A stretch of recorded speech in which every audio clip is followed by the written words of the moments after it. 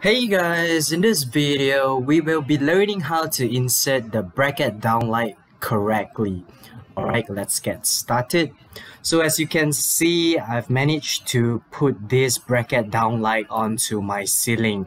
Alright, so if let's say I'll just drag it out and put onto my ceiling, it will look something like that which is the wrong way of putting in a bracket downlight.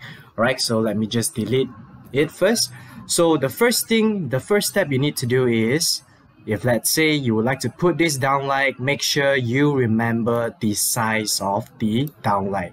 Alright, so we know the size is 232, 122, and 83. Alright, so the next thing we are going to do is we are going to use the custom ceiling function.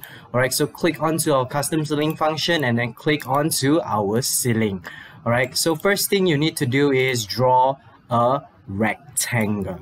All right you can just randomly draw a rectangle okay? And then remember the size of the bracket downlight okay? So we know the size is 232 122 and all right so we are going to change 232 and for my width 122 all right and for the height is 83 so right now the elevation we are going to add 83 so is 2583 and as you can see inside my 3d there's the rectangle has been extruded up.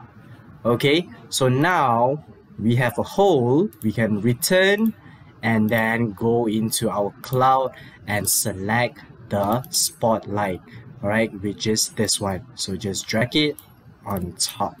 Okay so hold on to your spacebar and just adjust accordingly.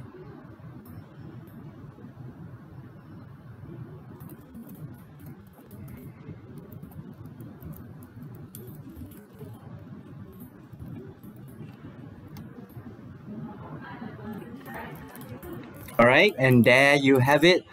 Alright, so this is the correct way to insert a bracket down downlight. Good luck trying guys.